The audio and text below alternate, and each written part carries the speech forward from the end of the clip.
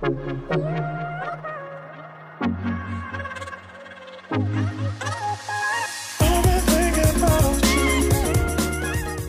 right, guys, we're here at the Lake Country booth. Uh, we have the UDOS for the first time. We're gonna get to play with it.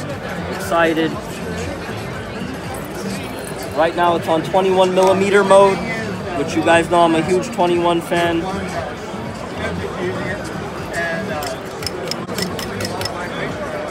Here's the speed dial. Speed one.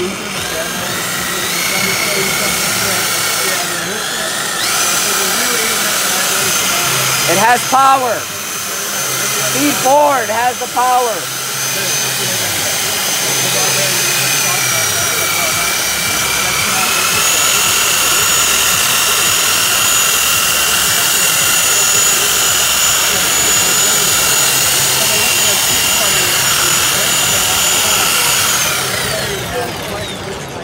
Right, we're here with Yvan with Lake Country.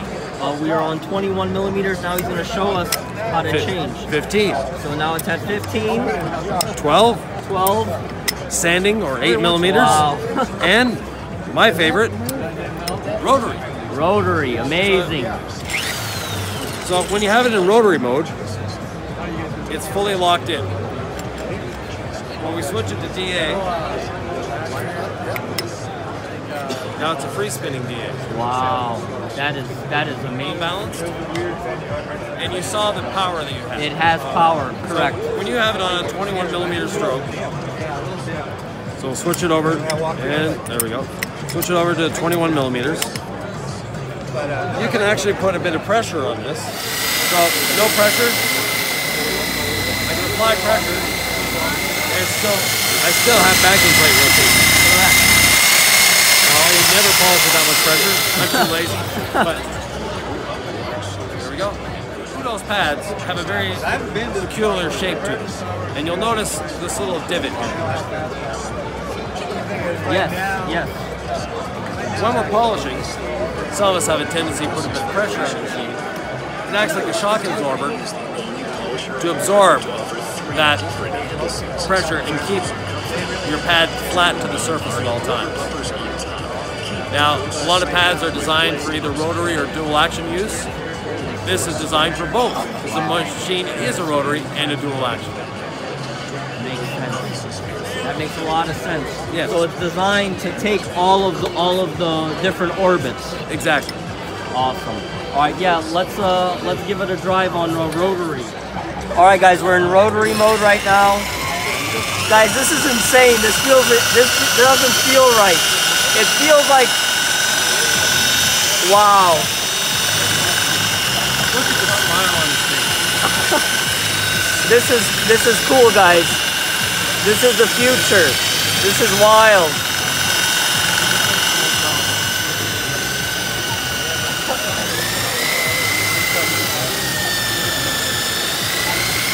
Nice.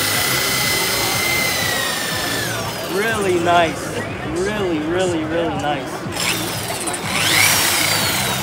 Pretty cool. Pretty cool. All right, guys, that was my first time playing with the UDOS, and I am impressed. Um, I was concerned with if it has a lack of power, with so much going on, is it going to be weak? Is it going to be easy to stall? But it does have torque. Uh, that's something that uh, the Max Shine just does not have, if that makes sense. So having that torque, being able to deliver that power to the paint is very, very important. So uh, I'm very, very impressed. The rotary mode was extremely smooth. Uh, the DA, the 8 millimeter, the 12 millimeter, you are essentially getting five tools with one machine. So when you're edging, you could go to rotary mode. Uh, if you want to be less aggressive, you don't want a wider orbit, you go to 8 millimeter. All those orbits have different advantages and disadvantages. So with this one tool, you could tackle all of those things to give you the ultimate detailing machine. I'm so excited to pick one up. Uh, I did talk with David and Jason and Yvan and Bob, and uh, they are going to be available late March. Uh, I am going to be picking one up. Uh, if this tool is 500, 700, 800, think about it. You're getting five tools in one. It is worth its weight in gold. I'm definitely excited and I am impressed.